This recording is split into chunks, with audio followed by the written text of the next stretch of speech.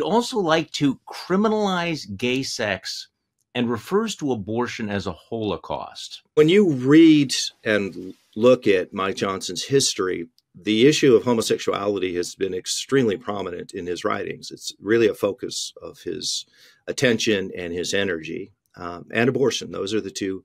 Those are the two issues. He is a culture warrior mm-hmm. in the true and authentic sense.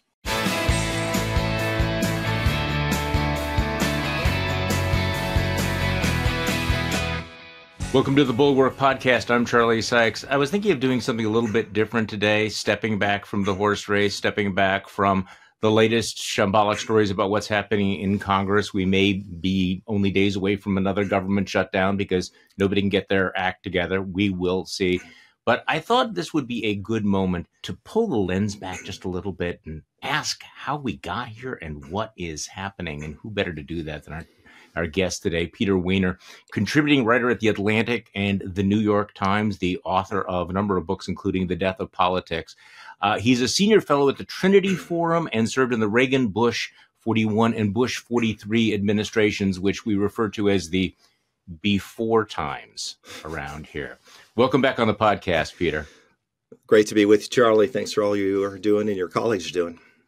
Well, you had a brilliant piece in the Atlantic that put everything into context, including um, what's happening now in Congress. A lot of, a lot of coverage right now about whether or not uh, the new Speaker Mike Johnson, whose name I'm still getting used to, Mike Johnson, because I, there's part of me that always thinks I'm getting that name wrong. Right? It's like yeah. okay, it can't be Mike Johnson, right? It's got to be. So um, you know, everybody was asking who is Mike Johnson, and now the week's news is flooded with will will Mike Johnson be able to, uh, you know, keep the government open without losing the hard right? Um, we we know that it was a continuing resolution that brought down Kevin McCarthy. Can he pull the rabbit out of the hat? Does he need Democratic votes? And this whole kabuki dance. But your piece I thought was really interesting because it it it it described who Mike Johnson was, and, and, you know none of us actually knew this. And the headline was the polite zealotry of Mike Johnson. And you wrote this shortly after he became the speaker. And you start off by noting that when Johnson was asked by Sean Hannity about where people could find out about his worldview, he said people should just pick up the Bible. What did that mean? Peter. Help me understand this guy. yeah, it's uh, it, it, was a it was an interesting um, response that he gave to uh, to Hannity. Um, I think for him, what it meant was that if you consult the Bible, um, you would have a view of what Mike Johnson saw about the world, and you would have a sense of what was true uh, and right and ordered um, about mm-hmm. about the, the world. It, it okay. was kind of a manual. Um, not only to to understand, make sense of reality, but also to understand his politics, and that you could make some kind of uh, connect the dots uh, from from the Bible to to whatever he happened to to believe. I think that, uh, that the details are a little fuzzy. Not sure what Leviticus says about continuing resolutions. Well, that's right. That's right. Actually, th- that's an interesting way to put it because I think the details are extremely fuzzy, but I don't think they're fuzzy for Mike Johnson. I think mm-hmm. that's the important thing to understand. For him, I think it is it is a book that will will instruct him on on politics and every aspect mm-hmm. of his life. I think that that's extremely shallow and misguided, just as a person of the Christian faith, which I am, because when it comes to the interpretation of the Bible, what scholars refer to as hermeneutics, it's a very complicated thing you know, the Bible itself is written over thousands of years by dozens of dozens of different people, often arguing and saying different things at different times. So it requires discernment to try and figure out what in the Bible applies in any yeah. particular moment that you're that you're that you're in. So I think he's wrong on um, on that. But I think the other thing to understand about about Mike Johnson, and, and I know the kind of person he is just because of my own life mm-hmm. within mm-hmm. sort of the evangelical world, where I've spent a fair amount of my, my, my adult life, always somewhat on the fringes, I would say. But I know um, the the subcultures, and I think I understand how a lot of these folks think. And I, for Mike Johnson, I think he is a zealot. Now he he's a mild mannered and polite mm-hmm. zealot. Um, I would say, but certainly by by MAGA standards so his uh, his rhetoric is not as abrasive and and reckless uh, at least as often uh, as as a lot in in MAGA world. But he is a true believer. He's not a cynic like Kevin McCarthy right. was, or like Lindsey Graham is, or like J.D. Vance is. I think he really, really believes, and that has its own uh, worries that that attend uh, that attend well, to it let's talk about what he believes. Uh, you wrote that he has deep ties to the Southern Baptist Convention and believes in a literal reading of the Bible, and he's close friends with uh, Ken Ham, who is an Australian fundamentalist and creationist, um, and has provided legal services to his organization, Answers in Genesis. So, what does Answers in Genesis believe? Well, one of the things that they believe is that the Earth and the universe are 6,000 years old. Um, and so they okay. don't think that uh, the first couple of chapters or the first 11 chapters in Genesis uh, are in any sense figurative uh, or even even using, as, as uh, C.S. Lewis referred to, true, true myth to try and, and, and express truths. Mm. So that tells you a certain mindset, 6, right? Mm. so 6,000 dinosaurs, what's the dinosaur? Um, how do they? The dinosaurs were with the people on the ark. Uh, it's it's pretty convoluted, and it's really really fascinating psychologically. And I think we see this manifestation in MAGA world too. But what it tells you, one thing it tells you about Mike Johnson is this is a person who is impervious to evidence uh, and to reality, sets up a force field. So all of the overwhelming evidence, I mean, it's just not it's it's, it's not an open question about the the age of the earth. Certainly, when it comes to being six or ten thousand years old, but it doesn't matter because its starting point is this is what the Bible teaches, and the mm. Bible is true, and therefore it must be true. And any evidence contrary to that has to be explained, and that's where you see these leaps of logic, these twists and knots of rationalizations and justification and when you're dealing with somebody like that, you know, in day to day life, that has its own challenges. Yeah, but yeah. when you have people like that in political leadership, that is you doubly know, or triply troubling. I, I, actually worked with a guy um, who was a very competent professional, very, very creative guy, and completely normal and rational uh, until you began talking about the age of the Earth. And then, right. as you point out, he was impervious to any kind of information. So, carbon dating. Um, yep fossils, um, archaeology, all of that is fake news. Uh, yeah. And you write that Johnson is is not just on board. You wrote Johnson is enthusiastically on board. That's right. Um, yeah, that's right. I mean, they they they have uh, these hmm. uh, you know okay. uh, ark uh, in in Kentucky where there, there's uh, thousands, maybe probably tens of thousands, yeah. hundreds of thousands of people will will visit um, that these museums that they they have set. Uh, they have their own museums. Up. Yeah, exactly, exactly. And this answers in Genesis.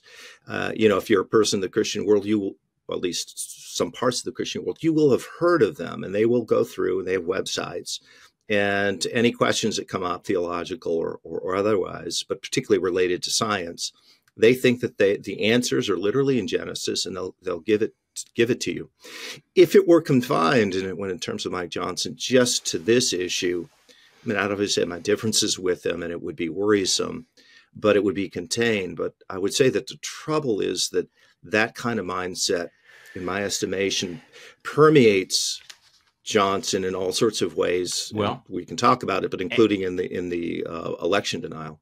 Well, and also, I mean, in, in terms of like the relevance of this, uh, Johnson thinks that churches should be more politicized, and that the yeah. so-called Johnson Amendment, no relation, which prevents churches from engaging in political activity to keep their tax exempt status, should be overturned. Lots of evangelical conservatives uh, believe that. He'd exactly. also like to criminalize gay sex and refers to abortion as a holocaust. Okay, right. so the, the the politicization of churches, let's leave that to one side. The criminalization of, of gay sex, that does put him outside the mainstream, even of conservative thought, even I'm, I'm, I'm, tempted to say MAGA thought because I, originally I don't think that MAGA was about criminalizing gay sex for all the other things that you and I find right. deplorable about it. That's that's kind of that's on the edge of even of of edge MAGA, right? Yeah, I think that's right. I think that's right, and he's avoided that topic since he's been speaker, and I understand why why why he has. Yeah. I assume that that deep down his views haven't changed because I do think he's a he's a true believer. He may make the utilitarian judgment, the prudential judgment, not to talk about it. This was in the context of the case years ago. You'll remember uh, Lawrence v. Texas. Yes. Uh, and and uh, I, I, think Justice Scalia wrote a dissenting opinion on um, on on that, and that had to do with the criminalization of of of, uh, of gay sex. But when you read and look at Mike Johnson's history, the issue of homosexuality has been extremely prominent in his writings. It's really a focus of his attention and his energy. Um, and abortion. Those are the two. Those are the two issues. And the groups that he's been affiliated with back in the 2000s and uh, and later made these issues primary and he was his lawyer and he he uh, advocated for those groups but he clearly shares their worldview he is a culture warrior mm-hmm. in the true and authentic sense okay so let's talk about his attitude towards school shootings um, which I can half understand, and then we get to a different area here. You you write that he thinks the school shootings are the result of generations of Americans being taught that there is no right or wrong, that it's about right. survival of the fittest, and you evolve from the primordial slime. Now there are a lot right. of conservatives who've argued, like you know Bill Bennett, uh, you know back in the the '90s before before MAGA in the in the before times that that you know clearly we are seeing a, a, a collapse of traditional values of right and wrong of morality that that's not you know that's right. not particularly zealot you know zealotry but are you suggesting that he's also that he also believes that school shootings are the result of belief in evolution? Um belief in any of these things? I mean so because these a... start to tie together yeah the, exactly. the, the, the, you know for him religion is not in a box over here. Right it, it seems exactly. to inform even his attitude towards so talk to me about that yeah, I think that's what's happening. I think that's a reasonable surmise from what he said. He didn't say it directly, but he heavily yeah. implied it. Part of it is, again, I, I think that when you have that kind of mindset, you are committed and determined to try and obliterate the ideology that you don't agree with, right? So he right. thinks evolution is this enormous threat um, and a moral it's threat like a because cancer on our civilization. Then Right, right. Mm-hmm. And he, yeah. so what does he do? He ties these horrific school shootings to the idea of evolution because if you don't have evolution, if because if evolution existed, then you can't have right and wrong, and there's no argument for, for the morality of of uh, of individuals. So he's using these current day events to try and discredit evolution because that's so contrary to to his worldview. Now, of course, when you get into the, the realities of the school shootings, there are a couple of things that you have to keep in mind. The vast majority of the people who are committing these, it's it's not as if uh, people who you know high school kids that that that weren't um, disciplined because they were late, uh, you know, for going to class or because right. they had their their cell phones. These are people who are mentally ill and deeply yeah. deranged, overwhelmingly so. So this the normal moral infrastructure that shapes most people doesn't apply to them because they're not mentally right. well. So his argument would fail on um, on uh, on on those grounds. And in addition, other countries have problems that we have in terms of moral dissolution and right. mental health, as Without you've talked many shootings. times on the show. Exactly. So that's that's the problem. But again, from my perspective, it's what do we learn about Mike Johnson and his worldview that informs where he is now. What can we expect from him? Oh, okay, just one one one step back. This may, may seem yeah. like a digression to some people. What do most mainstream Christians think about evolution and morality? Most mainstream Christians do not reject evolution, but they also do not believe that evolution means that there is no right and wrong. Correct?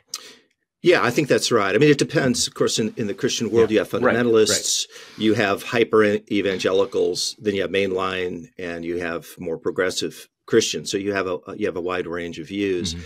But yeah, the the I, I, would guess the majority of Christians. There's the issue of evolution, right? Which yeah, is right. Uh, that's one set of questions, and then the other is if evolution existed. Did that, would that mean that there couldn't be a moral standard for us, right, right and wrong? I think most Christians would say no, and Right. that God used. I mean, if you, for example, Francis Collins, who's who's the esteemed former Mhm. director of NIH and run founded a group called BioLogos, which is an effort to Mhm. try and bridge the world of science and faith. Um, and it's an outstanding standing group, and often in the sights, by the way, of Answers in Genesis. You know, they they would argue, of course, that evolution is true. It's scientifically true. We we, we know it for Mhm. a fact, but that God can use evolution in hi- in this unfolding drama and this unfolding story, and certainly precisely because we know evolution is true and we know moral standards exist and there are moral people. That itself explodes the theory that evolution means that you can't be moral. Okay, let's go back to Mike Johnson. Um, your article Uh-huh. had just so much detail here that you know there's, there's somebody else that needs to be um, uh, known to understand Mike Johnson's worldview. Of somebody, and I'm not familiar with his work. David Barton, not well known outside of evangelical fundamentalist circles, but very very significant within them. He uh, is a graduate. He he went to Oral Roberts University. Was the chairman of the Texas Republican Party. He advises people like Mike Huckabee, Newt Gingrich, Michelle Bachmann. He considers Trump to be one of the five greatest presidents in American history. So, who is David Barton? Why is he significant in this story? Yeah, he's significant because he uh, took on a role as essentially a revisionist historian.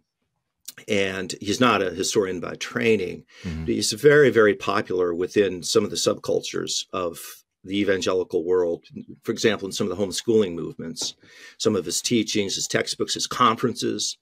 Um, and so a lot of people who are in the fundamentalist and uh, in some areas of the evangelical world would have gone to the conferences that that that uh, that Mhm. he had, and his basic argument and theory and thesis is that America is a Christian nation, that the founders were Christian themselves, that the idea of the separation of church and state is a myth, it's a fiction. There shouldn't be such a thing. He's probably most noted for a book that he wrote, Jefferson's Lies, which I think came out in Jefferson, yeah. 2012. And it argued that, that Jefferson was an Orthodox traditional Christian and that the interpretations that most people have, which was That's revisionist. you know, that I think yeah, it's safe it's- to say that as a revisionist view of Thomas Jefferson. it's a it- we know it's a revisionist view of Thomas Jefferson and Jefferson scholars just eviscerated the book. It's it's just filled with falsehoods. They call it awful, this- relentlessly anti-intellectual. Yes, exactly. And it really it really is. Interestingly, Charlie, this was all I mean the, the book itself was published uh, pre-Trump. And these were signs on the American right which I think you and I sort of saw. There Yeah. were elements of these Sure, but we, I- we knew thought that they yeah. were yeah, but we thought that they were fringe more fringe than they turned out to be and it was more contained i think than than it turned out to be. But barton is a prominent figure sold a lot of books and he and johnson are are quite close. Wow. uh, johnson and his wife ha- had a podcast. I think they've ceased it now. And and johnson would would appear on it. And and Johnson himself has said something to the effect that you can't understand me without understanding uh, Barton and, He and says his that. and his views. Yeah. So again, to, interesting. to understand Johnson, it you do want to understand this world that that Barton is coming from. Well, uh, Christian uh, Kristin uh, Du Mez, who's uh, been a guest on this podcast, history Yeah. professor, scholar of all this, has written about Barton's claims. What that means, you know, that um, that Thomas Jefferson wanted an Orthodox Christian nation. What that means is that he kind of takes conservative white evangelical ideals from our current moment and says that those were all baked into the Constitution and that God has elected America to be a special nation and the nation will be blessed if we respond in obedience and maintain that and not if we go astray. It really fuels evangelical politics and the idea that evangelicalism has a special role to play to get the country back on track. And as you write, uh, Barton is reportedly giddy about uh, Mike Johnson's ascension, and he's spoken Right. with his team about the kind of people he needs as his staff. I mean, wow. Okay. Yeah. Yeah, no, Kristin uh, Du Mez is, a- is a very uh, distinguished historian, and she wrote a very good book called Jesus and John Wayne. I want to say one point about this, which I think is is important to understand, which is politics by its nature is infused with passion and strong strong beliefs. That's that's the nature of the um, of the enterprise. But when you overlay that, and people think this is not only you know debates about the, the, the meaning of the republic and the country, but that this is actually a uh, an epic struggle between the children of light and the children of darkness, and that God is on one side and Satan is on the other. Then you've taken politics, which is, as I said, inherently intense and difficult right. and, and elicits passions, and you add this jet fuel of saying that this is an epic cosmic spiritual struggle. Right. And then the people that, that believe this, and they many of them believe it in good faith, then they take it upon themselves as essentially kind of warriors for God. And it's not just our country that we're fighting for, but it's for God and God's ways. And then you can see how politics right. gets into very, very dangerous territory. Becomes very toxic, and why you would not consider uh, compromise or bipartisanship to be virtues exactly. in any way whatsoever. In fact, they are betrayals. Okay, yep. so setting aside Mike Johnson, you wrote last week in the New York Times, and this this, this sort of thing is is really a, a, a gut punch. I, I, think tying together, um, you know, the before times. Um, you wrote in the New York Times last week that one of the books that most electrified conservatives over the last 50 years was Allan Bloom's The Closing of the American Mind, which was published in 1987. And I am old enough to remember this and, and remember what the reaction was that, and as you wrote, it, it warned, uh, the closing of the American mind, warned of the dangers posed by moral relativism and nihilism, of accepting everything and denying reason's power. And Bloom argued that the denial of truth and the suppression of reason were leading to a crisis of civilization, and that that was the fault of the new left. This was embraced universally by conservatives, I, I think, well, close to it. And you at the time were working in the Reagan administration's Department of, of Education. And obviously, you were very interested in higher education. I was very interested in higher education. And so at that point, you could almost define uh, conservatism as pushing back against moral relativism and nihilism. What happened, Peter?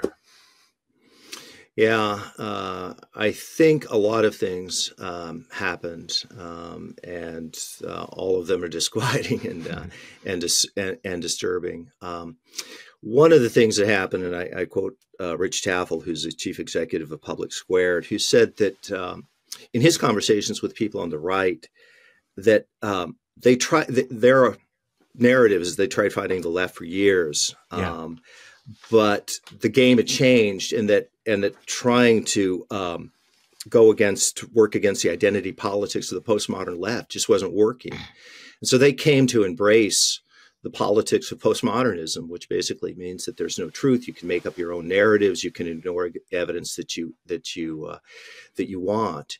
Um, and i think that that became for them not only a, a way to win. I, I, heard any number of times, and I'm guessing you did too, Charlie. This actually started in 2016. A number of these people, by the way, were Christians that, that I spoke to, and what they said about about Donald Trump uh, at that time um, is. Look, he's a person of flawed character. In in the conversations I had, they would mm-hmm. they would admit whether it was Mitt Romney or John McCain or George W. Bush, Trump's character was worse than than than uh, than theirs.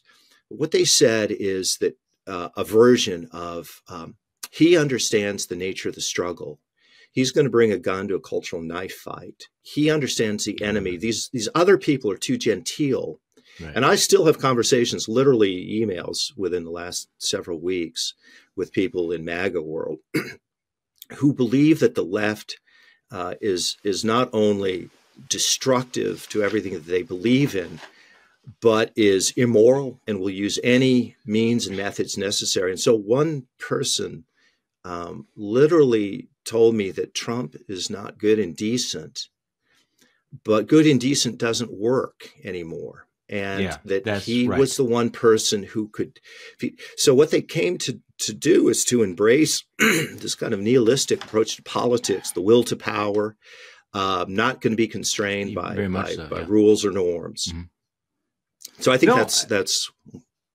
Well, and this is what you you wrote: is the Republicans have embraced uh, nihilism. Um, you know, the American right most fully embodies the attitudes that alarmed Allan Bloom back in 1987. And then you go through all of this. I mean, just witness the right's embrace of Trump's cruelty, his remorselessness, his vindictiveness, his conspiracy theories. I mean, no other president has been so disdainful of knowledge and annihilating truth each week. His statements become more deranged, more menacing, more authoritarian. I mean, the attacks on the prosecutors and judges, we can just run through all of that. The people that he suggests that he would have executed, you know, joking about the attack on Nancy Pelosi's yep. husband. And as you point out, he's wildly popular with the right, and it, as it turns out, his indecency is is a plus. Right. His supporters are galvanized by the criminal charges against him because now that becomes the signal of that he's being politically persecuted, and so this is what's different in 2016 because he was kind of alone. I remember thinking to myself at one point, okay, Trump's bad, but there are just not a lot of you know you know mini Trumps around the country, and now right. we've seen hundreds of imitators across the country. So you wrote. The haunting question raised by Allan Bloom is more relevant now than it was when he first posed it. When there are no shared goals or a vision of the public good, is the social contract any longer possible? I'm going to turn yeah. the question on you. Is it? It is, but it's it's being challenged. A lot is at stake. Uh, this is a tremendously difficult and disorienting period. In some ways, I think it's it's the greatest threat to the republic since the lead up to the Civil War. I would say that the next 12 months, whether Trump wins this election or not, uh, will go a good distance toward determining the degree to which the republic, as we've known it, is is is going to continue and and uh, and and survive. Um, and the le- and the right has has not only embraced the postmodernism, but with a kind of zeal that even the left didn't. And I think it's more widespread on the uh, on the right. There's a kind of psychic satisfaction that I've seen on the American right. You know, that we refer to it as, as, as you know, of of trolling the of uh, uh, trolling the libs and owning mm-hmm. the libs. Right. We refer to it as, as owning the uh, owning the libs.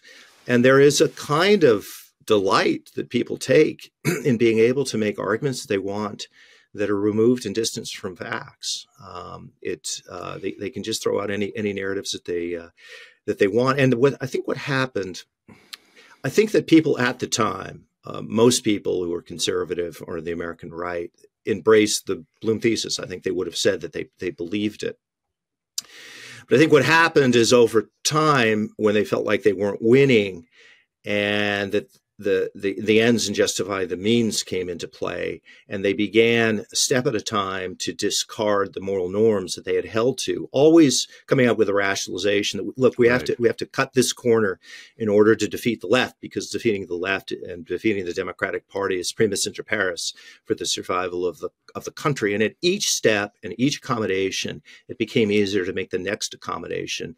And so what was a what was a bug for Donald Trump in 2016 became a feature by 20, 2020. And now it's an aspect of, of him in which they, they celebrate it because they feel uh, like he hates yeah. the same people that we do. He drives the left crazy, and anybody that does that is, is, is, is somebody that warrants our support. So it's, it's really disturbing. And of course, for people like you and I who grew up in the conservative or formed by the conservative movement, it's, it's disorienting it's very disoriented. It does feel like the upside down world. I mean, in, in your piece in the Times, you you also reference the work of Jonathan Rauch, uh, who wrote the Constitution of Knowledge, talking about the way the incentive structure, and I think you've hinted at this. The incentive structure has, you know, really been reversed. I mean, it's played an indispensable role in this this epistemic crisis here because, as as you point out, I think people in the media have discovered that, especially the right right wing ecosystem, have discovered, you know, that spreading these lies and the resentments is very, very profitable. There is an audience for it. People like this. They want it,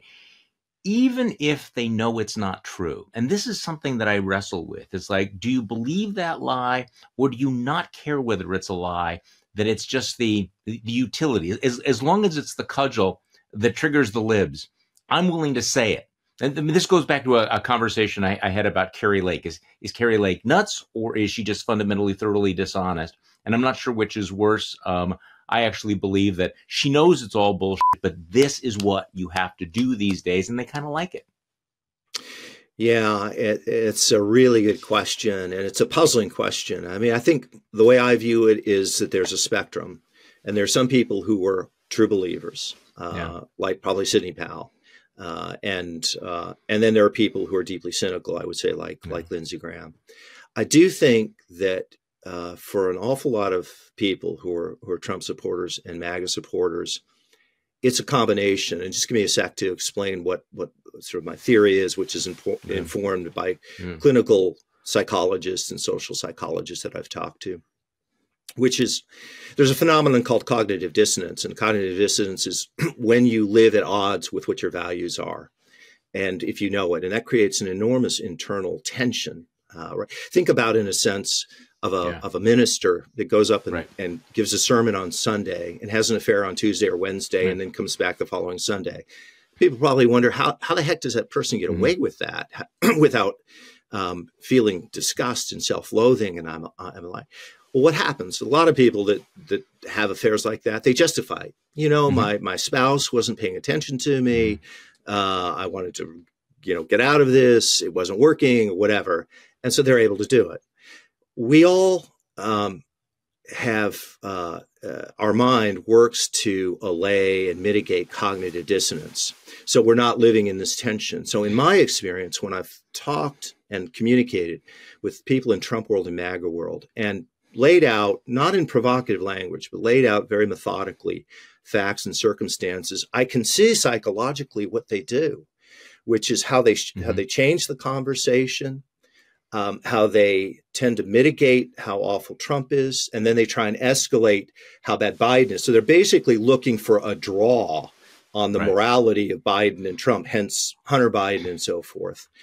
They have to keep in the front of their mind this notion that um, that Biden and the Democrats are an existential struggle. And if you said, look, he's been president for three years, some things you may disagree with, some things you may agree with, but the country is not in, in a markedly worse shape and in some ways better shape than a Trump.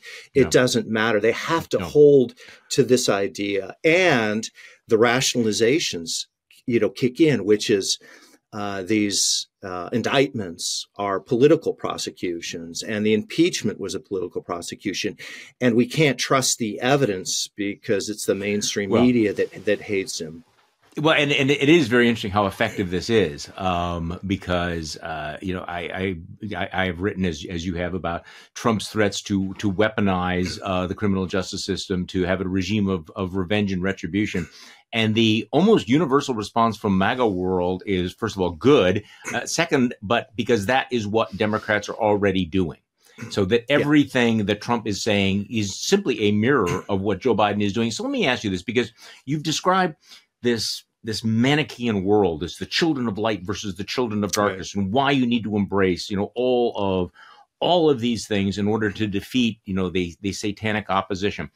What is it that it, it, and you've had these conversations. What is it that they hate and fear the most on the left? What do they seize on? I mean, what is it's not about inflation, it's not about the right. fiscal policy, it's not about the infrastructure bill.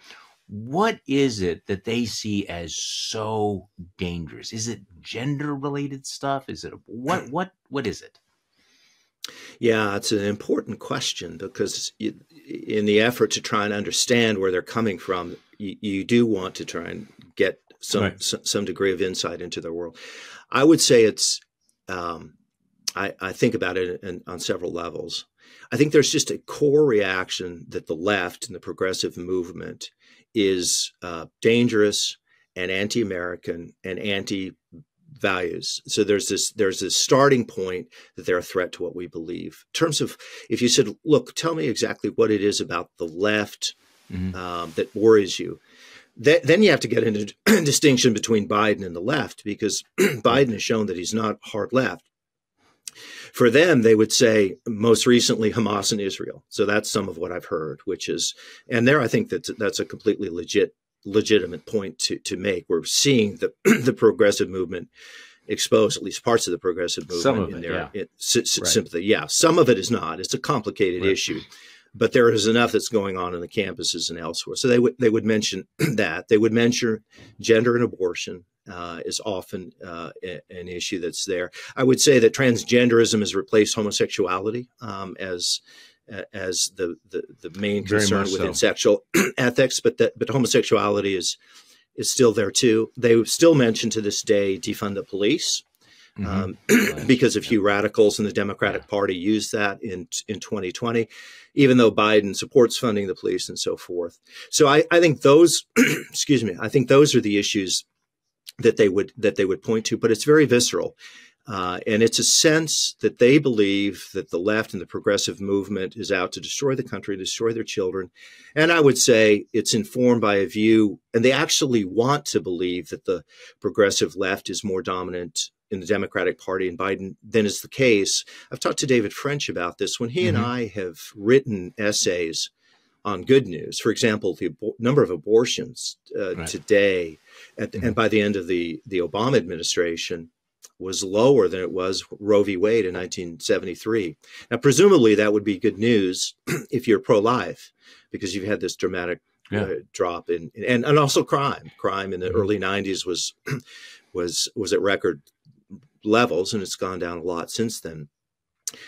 But when you write about the good empirical news, that elicits not thankfulness or not mm redoubling the energy because we're making progress, it often elicits anger.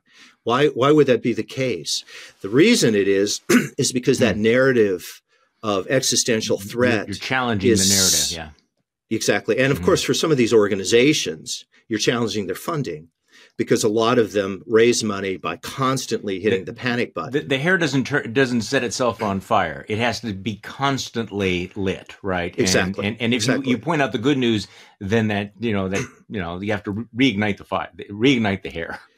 Exactly. Exactly. Uh, so I think that that's that's what's behind it. I, I, think you know a fair amount of it is genuine, but again, it gets complicated because I think there's such a deep investment in creating these narratives. And then these narratives are part mm. of people's core identity. Right. So if you're having these discussions, I'm sure you've had these these conversations where you've thought, you know, these this is not just a policy disagreement.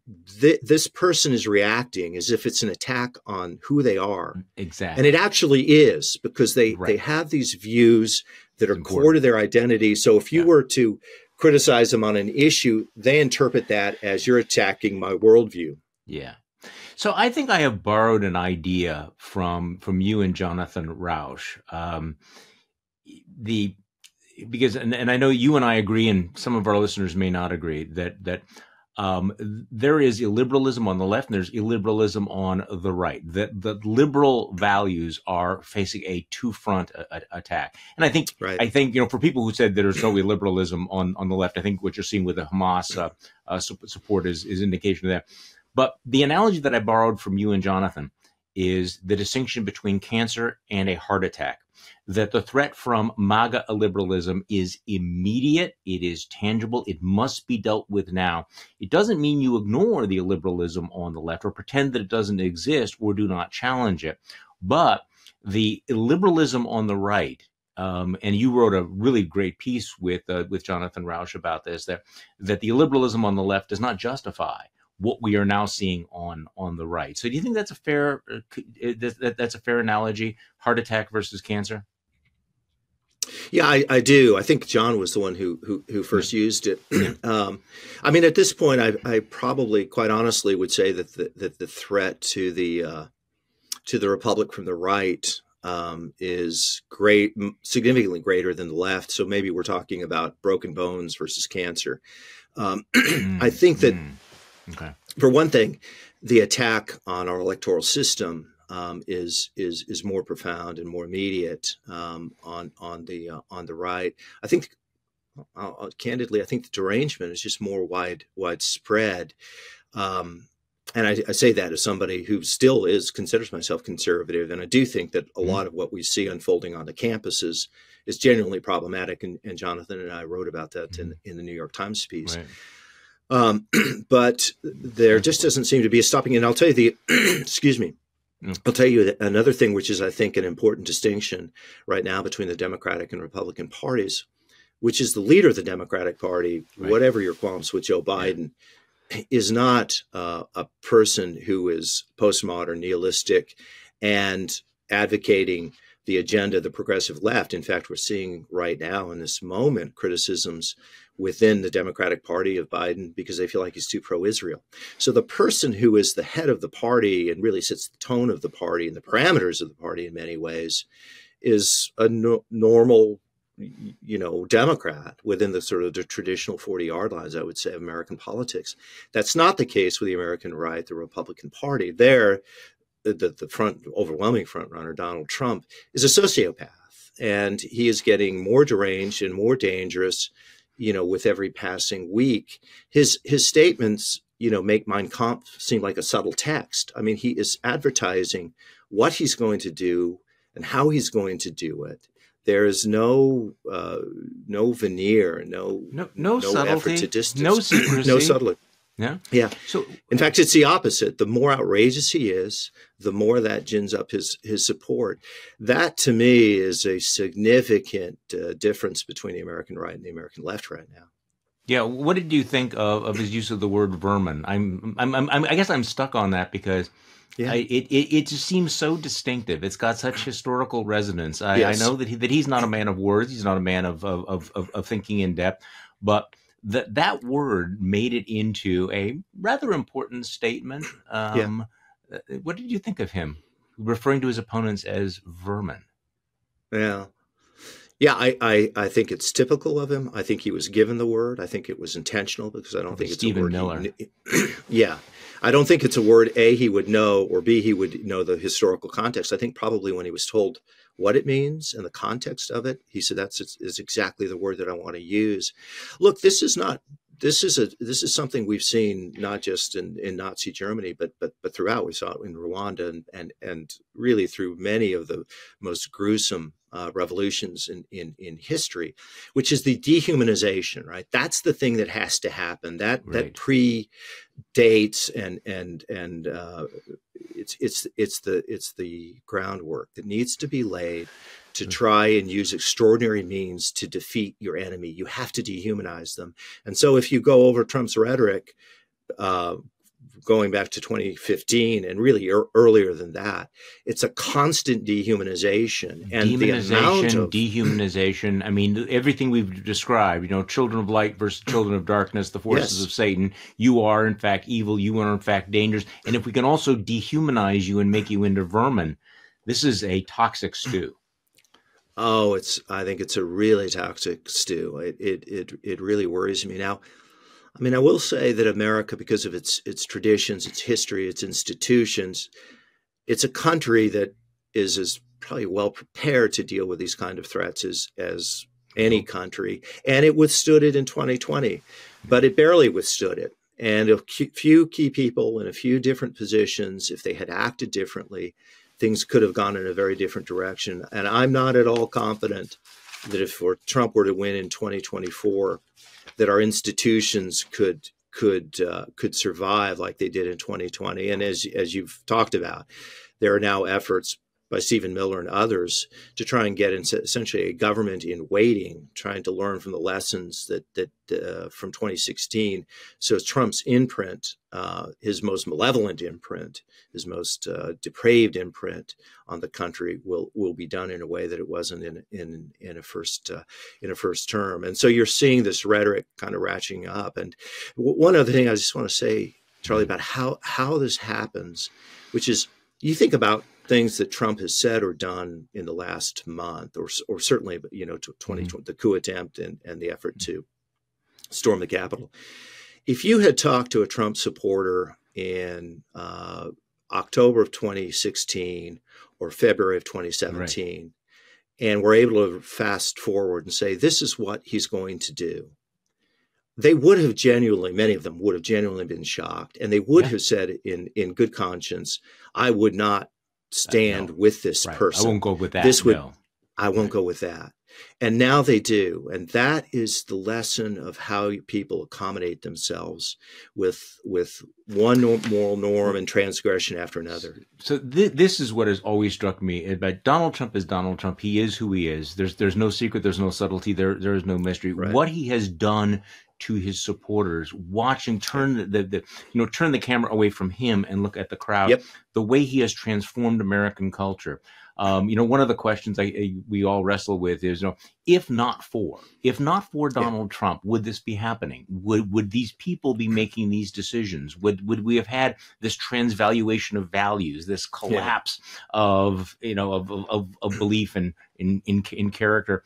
And I mean, a lot of it would have happened anyway. But yeah. um, I have a hard time thinking, you know, if not for Donald Trump, that we would not be in a very different place. It wouldn't be, a, you know, paradise. But there's yeah. so much of this that traces back to looking at him and this moral rot that has taken place, right. just the way you described, in just the last few years, and it doesn't seem to be abating in any way. No, no. If anything, it's it's accelerating, and I agree. I agree with you and how you and how you describe it. It, it would have gone on, uh, but but Trump accelerated. The one thing that's important to keep in mind, of course, is that um, in 2015, when Trump announced he was going to, you know, when he mm-hmm. in June he announced he was going to get into the race, mm-hmm. he got into the race. Um, almost nobody uh, was was willing to give him a chance. I, I, wrote a piece in July of 2015. It's three weeks after he announced, and the title of the of the of it was uh, President Donald Trump question mark Just say no. Oh. And I uh, I was warning about his appeal, and an awful lot of people thought, you know, why is the New York Times giving real estate to this guy? He's he's a passing phenomenon. He's he's, he's right. an epiphenomenon. It's not gonna it's not gonna last. And uh, uh, uh, um, there there was a sense I had at that point that he was resonating with with the base. I actually wrote a piece in the Wall Street Journal uh, hmm. in 2011 on the GOP and the birther trap where I warned about Trump. Yeah. And I said, don't play, don't play footsie with people with these conspiracy theories because you're going, you're going to regret it. Wow, And my point in saying that was that um, it wasn't simply that Trump sort of came out out, out of next, ex nihilo, like he did, you know, out of nothing. Mm-hmm. He tapped into something. He didn't have that much money. He didn't right. have the history in the Republican Party. The the the uh, group that he faced in 2016 were pretty accomplished Republicans, and there was pretty much any flavor of ice cream that you wanted, whether you were right. a libertarian or a cultural conservative, or a you know a Marco Rubio, Jeb Bush conservative, or Chris Christie, or Mike Huckabee or Rick Santorum. You know, they were all representative one degree or, or another.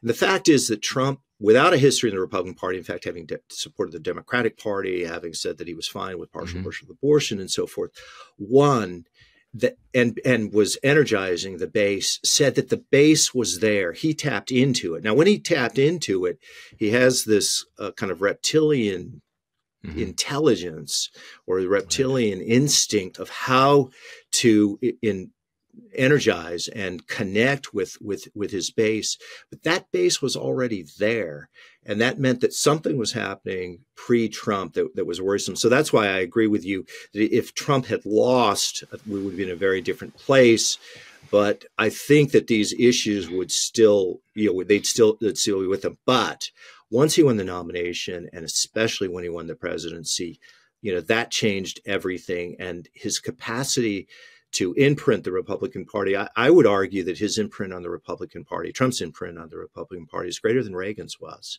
and great, Reagan's was enormous. I, I, can't argue with me with you about that. I mean, I think that people thought there was a pendulum. The pendulum would swing back, and in fact, uh, I think the analogy that works is a ratchet effect, and and and, yep, and it's it's going right. to be very hard to take it back. Peter Wehner is a contributing writer at the Atlantic and the New York Times. You really ought to read his piece on Mike Johnson, the polite zealotry of Mike Johnson. Peter, it is so good to have you back on the podcast. Thank you so much. Always great to be with you. Thanks, Charlie. And thank you all for listening to today's Bulwark podcast. I'm Charlie Sykes. We will be back tomorrow and we'll do this all over again.